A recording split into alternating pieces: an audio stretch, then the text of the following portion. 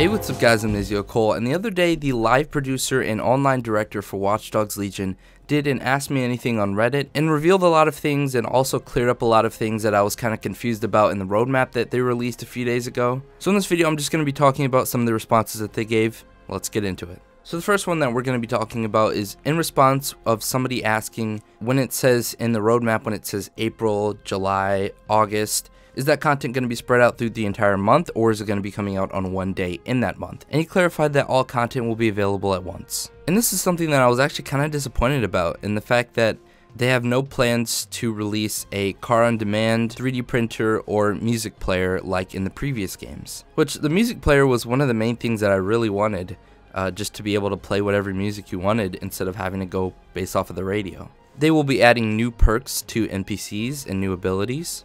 The advanced character customization will be available in online and in single player.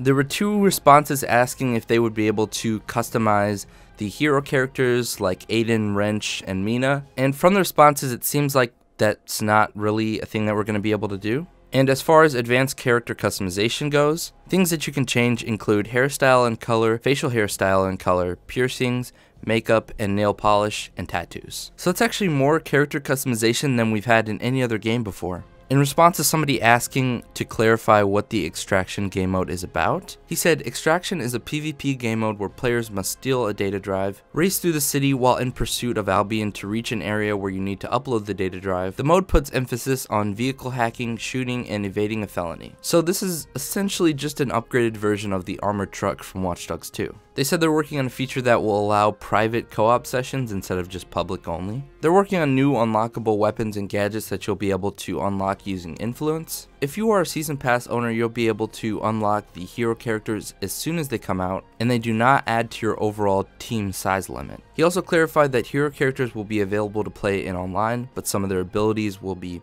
adjusted to be adapted to online. In the campaign, if they die while permadeath is on, they're gone for good, but just for that save so you can always start a new save with those characters. As far as the new DJ and first responder characters that they talked about in the roadmap, the DJ has two abilities. The first is an ability that reduces cooldown of other players near you online, and the second is like a blast wave of music that disrupts enemies. And the first responder has a temporary shield that can be used on either yourself or another player nearby, this character also comes equipped with a special crowbar that they can use as a melee weapon. They clarified that 60 FPS for next gen consoles is in development and that they will announce the exact dates for that in the future, but I'm surprised that that wasn't already a feature. Like you couldn't play at 60 FPS on new gen consoles? Didn't actually know that. The upcoming PvP invasion will allow players to invade other players that are in free roaming and online. And the last thing that they clarified that in free roam sessions, proximity chat will only be available for 45 meters and then it'll cut out, but it's available in unlimited distances in all other modes. So yeah, that was pretty much all the important stuff that they talked about in the AMA. Let me know what you guys think about this down in the comment section below, and I'll see you guys later. Peace.